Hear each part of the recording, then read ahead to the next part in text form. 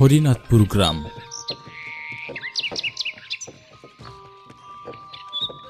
গ্রামটি একদম সাদামাটা আর সৌন্দর্যে ভরপুর। এটা হলো গ্রামটির প্রধান সড়ক।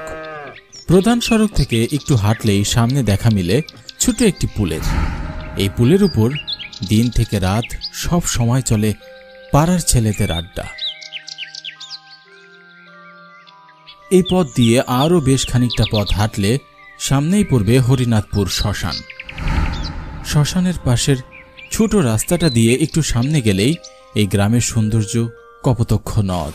এখন বর্ষাকাল। নদের পানি এখন অনেকটাই বেশি। সকাল থেকেই ঝিপঝিপে বৃষ্টি হচ্ছে, যার জন্য রাস্তায় প্রচুর কাদা।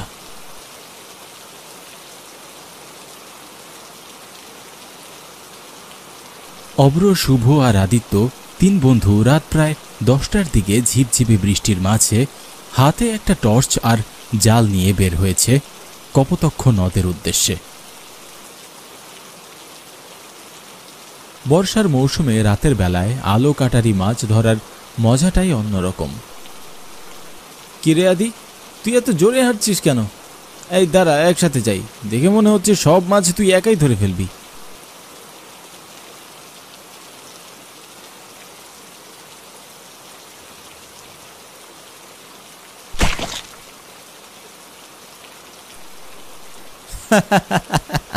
অতি চালাকের গলায় দড়ি। ভালোই হয়েছে। আমি জানি তো তোর সব কাজ সবসময় এমনই হয়। আগে আগে গিয়ে বেশি মাছ ধরার ধান্দা তাই না? হুম তা তুই ঠিকই বলেছিস আদ্র। আদি রোজই চিজ্ঞা হয়েছে। দুইজন আমাকে নিয়ে মজা করা বাদ দিয়ে দয়া করে আমাকে একটু তুলবি। নয়তো তোর যা আমি আর মাছ ধরতে যাব না। আচ্ছা আচ্ছা বাবা রাগ করিস না। আয়, আমার হাতটা ধর, উঠ।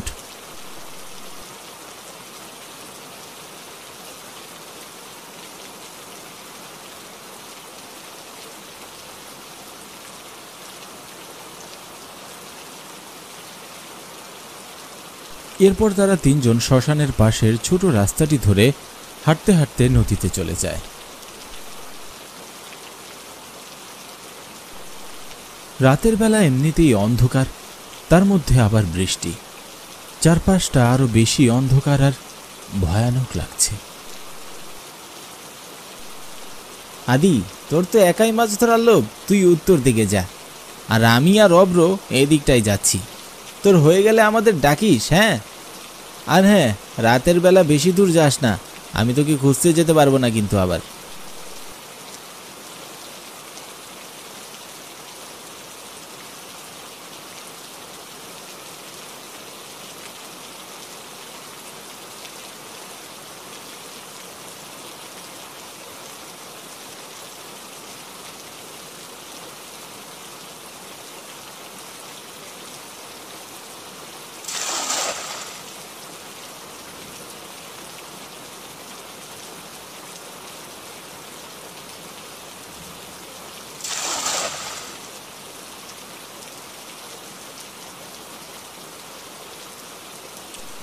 প্রায় ঘণ্টা দুয়েক মাছ ধরার পরে ঘাটে ফিরে আদি অবরোধের ডাক দিল।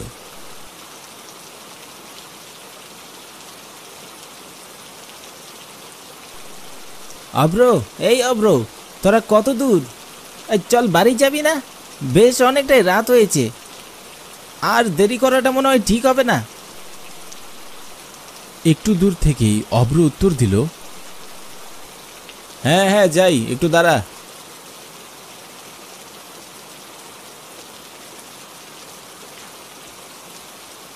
একটু পরে তারা দুজন ঘাটে ফিরে এলো। তখন রাত প্রায় বারোটা হবে। আদিকে দেখে অব্র বলল,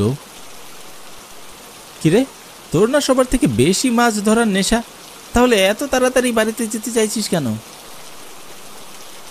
অব্র, আমার জানি না কেমন একটা ভয় ভয় করছে। মনে হচ্ছে আমার পিছনে কেউ আছে। চারপাশটা কেমন যেন অদ্ভুত লাগছে, দেখ।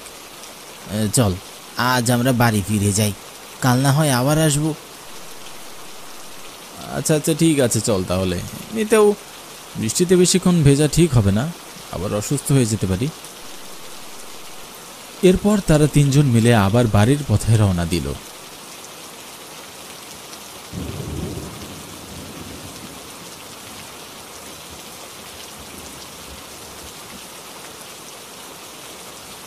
কিছুটা পথ হাঁটার পরে শ্মশানের কাছে এসে তারা দেখল কয়েকটা লোক দাঁড়িয়ে একটা লাশ পোড়াচ্ছে।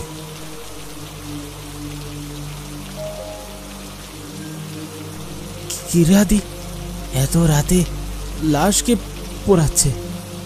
আর আমরা যাবার সময় তো এখানে কোনো লাশ ছিল না। এত তাড়াতাড়ি কে মারা গেল? হ্যাঁ তাই তো। চল গিয়ে দেখে আসি কে মারা গিয়েছে। আমাদের পাড়ার কেউ না তো? এই দাঁড়া তোরা তোদের কি মনে হচ্ছে না বিষয়টা অস্বাভাবিক?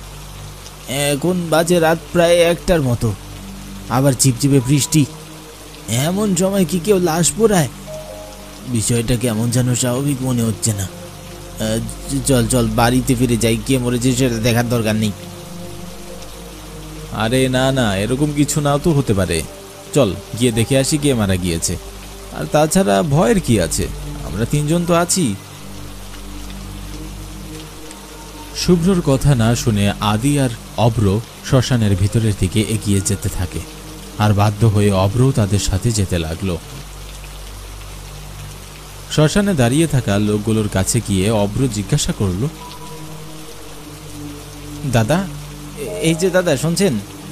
আচ্ছা কে মারা গিয়েছে একটু বলুন তো? লোকগুলো উল্টো দিকে মুখ ঘুরে দাঁড়িয়ে আছে। অব্রর কথা তারা কানেই নিল না। অব্র আবারও লোকগুলোকে জিজ্ঞাসা করল, দাদা, বললেন না যে কে মারা গিয়েছে? এবার লোকগুলো তাদের দিকে একসাথে ফিরে তাকালো। লোকগুলোকে দেখে তারা তিনজনই ভয়ে জড়সড় হয়ে গেল। লোকগুলোর চেহারার মধ্যে শুধু দাঁত ছাড়া আর কিছুই নেই। এমন ভয়ঙ্কর চেহারা দেখে তাদের জ্ঞান হারাবার উপক্রম। কিরে, তোরা জানিস না, রাতের বেলা এই শ্মশানের পথ দিয়ে যাতায়াত করা মানা আছে। এখন কে বাঁচাবে তোদের? বলেই সবাই একসাথে অট্ট হাসিতে মেতে উঠল। এমন অবস্থা দেখে ভয়ে ভয়ে আদ্র আদিকে বলল দাদি পালা বলেই অব্র আদির দিকে তাকিয়ে দেখল অলরেডি আদি অজ্ঞান হয়ে মাটিতে পড়ে আছে। আদি তোর কি হলো? হ্যাঁ আদি উঠ তাড়াতাড়ি। এমন পরিস্থিতি দেখে শুভ অব্রর হাত ধরে টেনে বলে উঠল পাগল আগে নিজের যান বাঁচা। চল চল এখান থেকে পালাই। বলেই দুজনে প্রাণপণে পালাতে শুরু করল।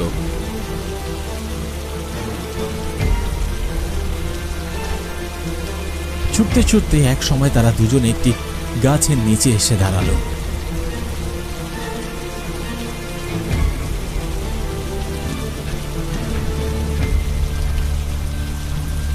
শুভ্র, ওরা কারা ছিল বলতো? জানি না জানি না রে বন্ধু। এতটুকু বুঝতে পারছিলাম। ও, ওখানে থাকলে প্রাণে বাঁচতে পারতুম না। আদি, আদির সাথে আদির সাথে ওরা যে কি করল কে জানে? তারা যখন এসব কথা বলছিল, তখন হঠাৎ করেই গাছ থেকে তাদের সামনে মানুষের কঙ্কাল ঝুলে পড়ে। এমন দৃশ্য দেখে তারা ভয়ে দুজনেই জ্ঞান হারিয়ে মাটিতে পড়ে যায়।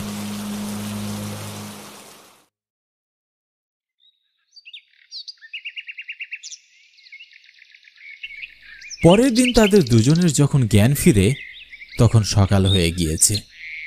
জ্ঞান ফিরতেই অব্র বলে উঠল, শুভ্র, আদি, চল তো, দেখে আসি আদির কি অবস্থা?